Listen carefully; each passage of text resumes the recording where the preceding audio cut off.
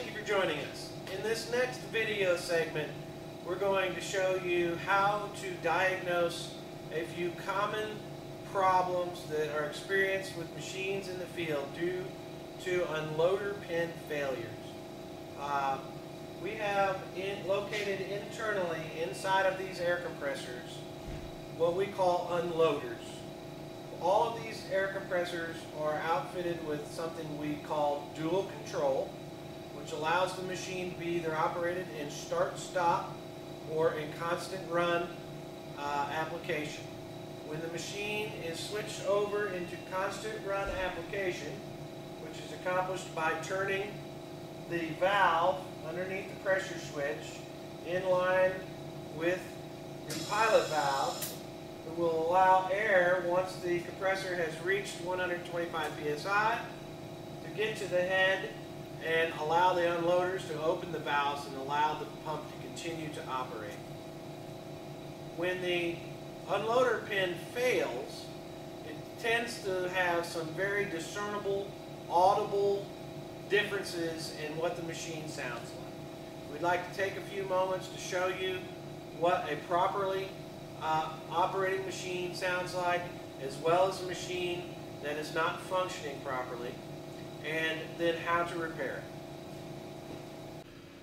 Okay, one way to diagnose in uh, a unloader pin failure is to come to the machine while the machine is off with pressure in the tank.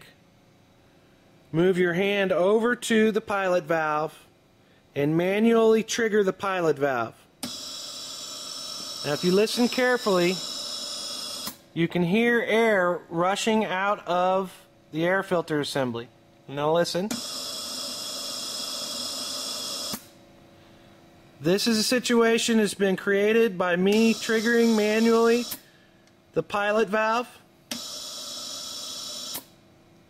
And what that indicates is that we have a failed unloader pin beneath one of these cap assemblies in the pump itself.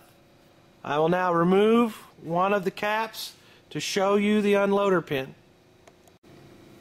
Okay, what we're looking at here is the top of the compressor pump once the caps on top of the unloaders have been removed. If you look carefully, in both of these holes here, there are two unloaders, one directly behind the air filter assembly and one to the side. If you look carefully, you can see that the bottom cap here in this photo actually has a hole in the top of it. That indicates a failed unloader pin.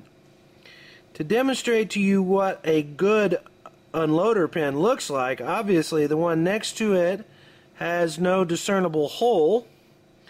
And to give you an idea of what one's supposed to look like, this here is a new unloader pin assembly. And as you can see, there's an O-ring, a brass cap, and a post coming out the bottom. Solid on top. What we got going on in here is that the one that has the hole in it has had the pin break off of the bottom of the unloader.